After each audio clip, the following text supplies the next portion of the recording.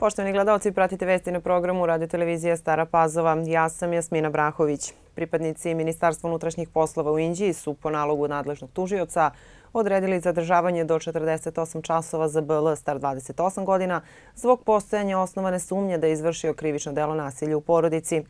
On se tereti da je u alkoholisanom stanju verbalno napao roditelje, a sebi nožem naneo posekotine po ruci. Nakon saslušanja u osnovnom javnom tužilaštvu u Staroj Pazovi, osumnjičenom je određen pritvor do 30 dana. Operativnim radom pripadnika Ministarstva unutrašnjih poslova u Rumi identifikovan je SV star 34 godine koji se tereti da je krajem augusta provalio u stan jednog sugrađanina i ukrao pištolj marke Crvena zastava. Osumnjičeni se krije u jednom stanu u Novom Sadu gde ga je pronašla Novosadska policija. Kod njega je nađen ukradeni pištolj. Po nalogu nadležnog tužioca osumnjičenom je određeno zadržavanje do 48 časova.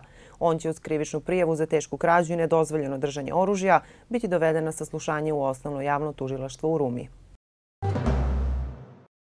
Oko 300 izbjeglica probilo je ogradu prihvatnog centra kod Reske i zaputilo se ka autoputu M5, a protest migranata je u mestu Bičke. Sa stanice Keleti u Budimpešti izbjeglice skupljaju stvari i poručuju da će peške u Beč.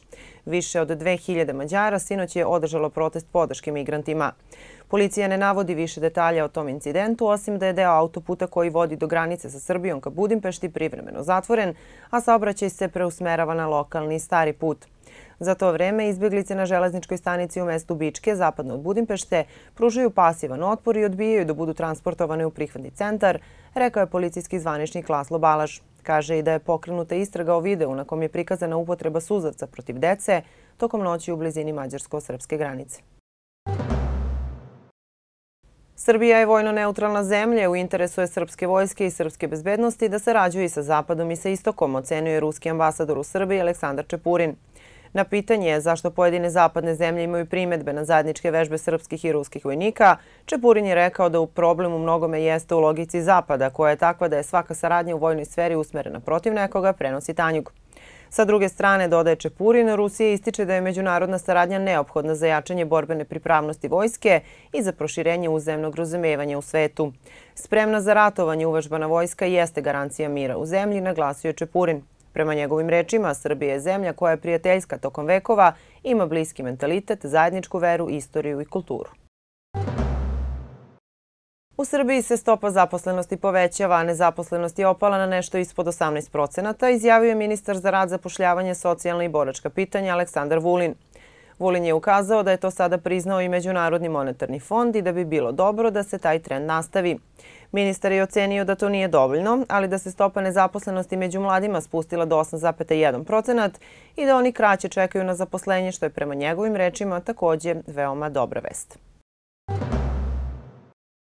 Sve specijalističke službe Staropazovačkog doma zdravlja od početka septembra rade po uobičajenom radnom vremenu, rekao je u razgovoru za našu kuću direktor Doma zdravlja dr. Aleksandar Omerović i zahvalio je građanima na strpljenju i razumevanju koje su pokazali tokom godišnjih odmora. Dr. Biljana Maksimović vratila se sa specijalizacije iz oblasti psihijatrije i počela je da radi sa pacijentima u Domu zdravlja u Staroj Pazovi. Nakon rekonstrukcije dela glavne zgrade, dr. Maksimović radit će u Novoj Pazovi, rekao je dr. Omerović. U Ugrinovcima u Domu kulture sinoć je održan humanitarni koncert Fondacije Otac Ratko. Uz orkestar Igora Golubića nastupali su pevači Bora Drljača, Ćana, Baja Malik Ninja, Goci Lazo, Žarko Gligić i Guslar Đorđe Tanović. Po rečima organizatora koncerta Mileta Golubića prodato je 550 karata i sakupljeno je oko 300.000 dinara. Počivši jere i Ratko Golubić bio je paroh u Ugrinovcima u Rumi i tragično je nastradao. Najvažnije je da nastavimo delo oca Ratka i pomognemo njegovoj nezbrinutoj supruzi i deci. Naša mala pomoć njima će značiti mnogo. Pomoć će otići u prave svrhe porodici redko poštenog čoveka koji nije mislio na ličnu korist. Na rasadniku Brestu u Staroj Pazovi sutra će biti održan sindikalni kotlić 2015. Takmičarski deo obuhvatit će spremanje goveđe gulaša i riblje čorbe, a pratit će ga muzički, likovni i kulturno-zabavni program. Degustacija, ocenjivanje i proglašenje pobjednika na programu je od 16 do 17 časova. U nedelju u Golubincima biće održane dve manifestacije. U podne na deponiji Repe na kraju Šimanovačke ulice trebalo bi da počne četvrta Fijakerijada koji organizuje Konjički klub Jadran. Prema rečima sekretara kluba Radislava Pekića, za takmičarski revijalni deo prijavljeno je ukupno 30 zaprega. Istog dana na Golubinačkoj pijaci Udruženje žena Vesele Sremice organizuje vaša rukotvorina i kulinarskih specialiteta. Vašar počinje u 15 časova, u slučaju kiše biće premešten u hol škole.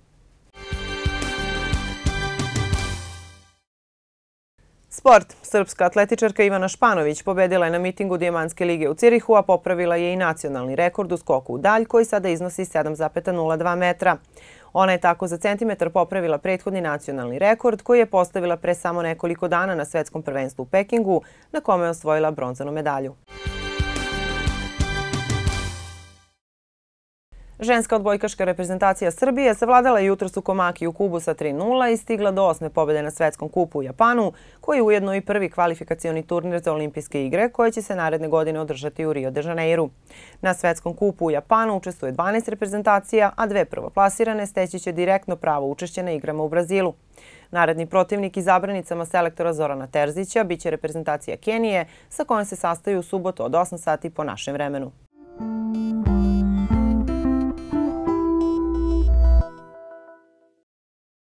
A sutra nas očekuje postepeno povećanje oblačnosti. Biće i dalje veoma toplo, a posle podne i uveče jače na oblačenje i osveženje sa kišom, pljuskovima i grmljavinom. Duvaće umeren jugozapadni veter i do večeri će biti u skretanju na severozapadni. Minimalna temperatura 20, maksimalna dnevna 28 stepeni, a krajem dana u osetnijem padu. Podacima o vremenu završavamo ovo izdanje vesti. Hvala vam na pažnji, ostanite i dalje uz nas.